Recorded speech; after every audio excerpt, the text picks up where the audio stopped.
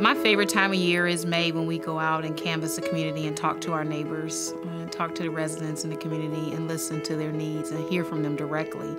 And as a leader of the organization, that's extremely important to me that I know that what we're offering at St. Stephen's meets those needs. And so when I hear families telling me that they would love to make changes in terms of their nutrition and get healthier and all that, they just cannot afford it.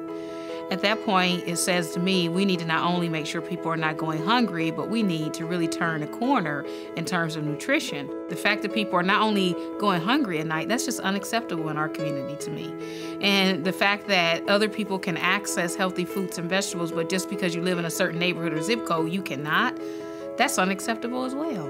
You know, I don't want everyone ever to think that we ever get complacent we're constantly challenging ourselves as much as we're challenging the community. You know, we ask parents to do a lot to begin changing their behavior for the sake of their children. And so, in order to ask someone to make changes, we need to make changes too. The times that we're living in, when the numbers are stacked against us, the odds are getting greater but the cost of not doing something is even greater than that. And so I think when it comes to innovation, the New Food Nutrition Center, Aquastar, all of that, it's about being aggressive and bold to have an impact.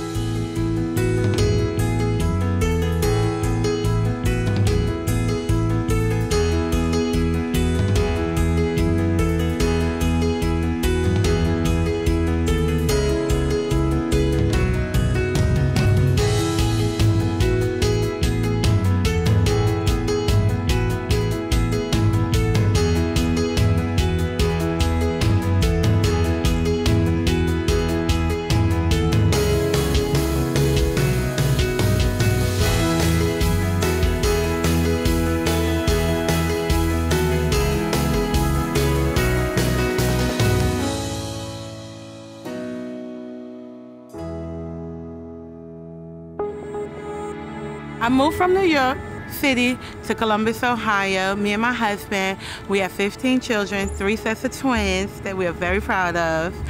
Um, we don't live too far from St. Stephen's. There are no grocery stores. We have um, little corner stores, but there are no grocery stores here. So it is difficult to shop. Somebody said, well, St. Stephen's has a pantry. And so we came they not only embraced us, but they did give us food. And it wasn't just, you can do this here, take the food and go. It's here, take the food with some education, and we're gonna show you how to continue to do this. They helped us get through the roughest time in our life. I'm 35. I'm a single parent to two teenage girls.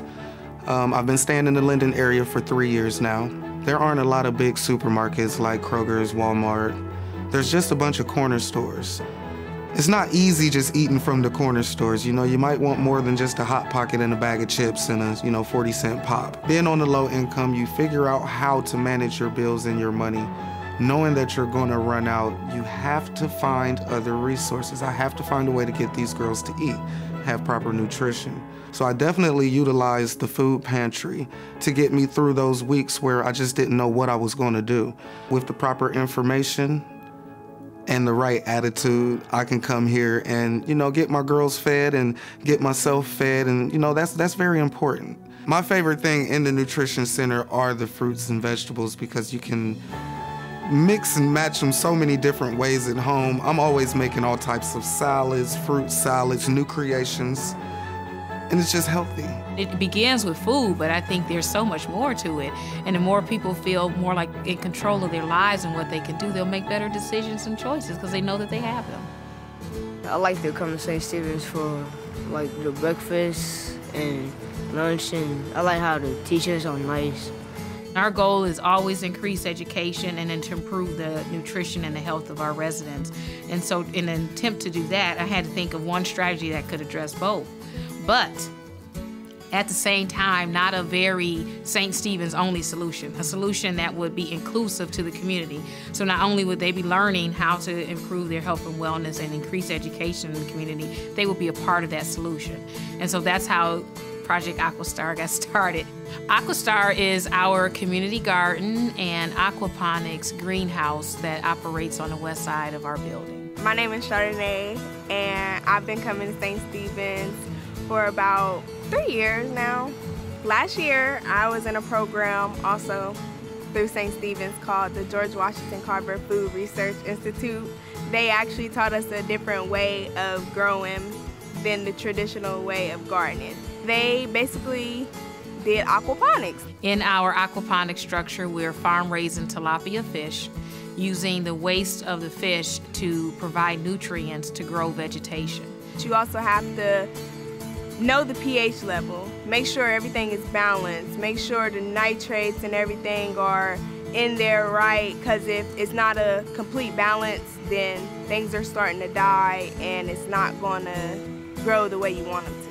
Our hoop house is where we have fruits and vegetables that we're growing year round through composted soil so they can grow in its original state and be the most nutritious food that our families can access. I would convince people that they want to garden because a lot of processed food you don't know where it came from. You don't know what pesticides been sprayed on it. With the community seeing the vegetables being grown, I think you'll get a lot more people coming out to come to the community center. I want Aquastar to light up the faces of our young people, to feed the souls of our old people, and to educate our next generation it really changed a perspective on what I wanted to do as far as going to college because I've actually looked further into agriculture engineering.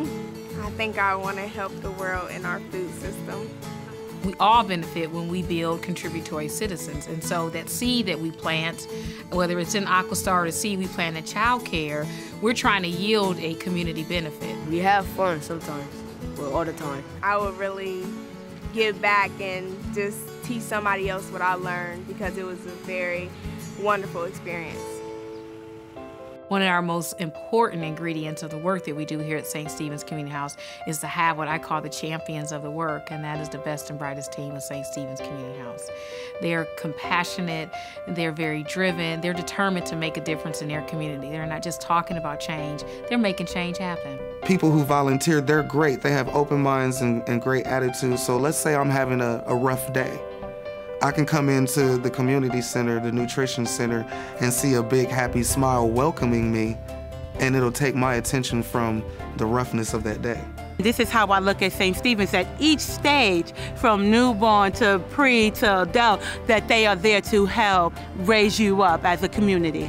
Without a great home and good nutrition, my girls wouldn't be successful in high school and I definitely push them. They, they ha have no choice. You're going to college, you're going to become something. It takes a lot of resources to deliver high quality services and to the quantity that we have to deliver each and every day. Our customer service numbers are high. We've seen so many increases in not only our food and nutrition center, but in our after school programs in terms of the third grade need and education. We will deliver on our promise. We continue to be a good value proposition to donors and supporters and volunteers. We don't take time, talent, or treasure for granted. We earn it in the world we live in, it's unfortunate there's such a gap of opportunity. I think the children at St. Stephen's and the Linden are just as bright as anybody else's child and has just as much potential as any other child. It's just a matter of opportunity. And if we don't create that opportunity, shame on us.